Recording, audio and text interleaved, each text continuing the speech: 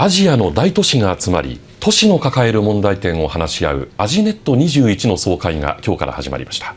しかし出席した都市は半数以下で舛添知事は会議の冒頭組織の変更を提案しました。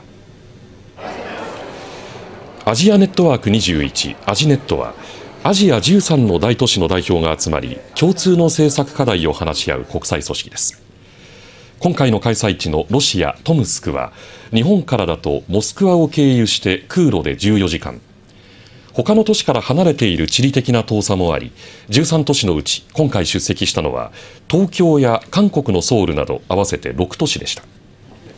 そのうちトップが姿を見せたのは東京都の舛添知事とトムスク州のジバーチキン知事のみとなりました。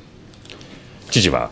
2000年にこのネットワークが提唱されてからほぼ15年が経過しネットワークの在り方を見直す時期に来ていると指摘このアジネットの今後の在り方について考えを述べる機会をいただきたいと話しました。